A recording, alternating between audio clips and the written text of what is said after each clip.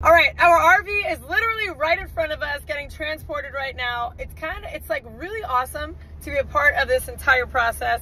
It's like your little baby is growing, and now she's going to get her little clothes on. What? What'd you say? There it is.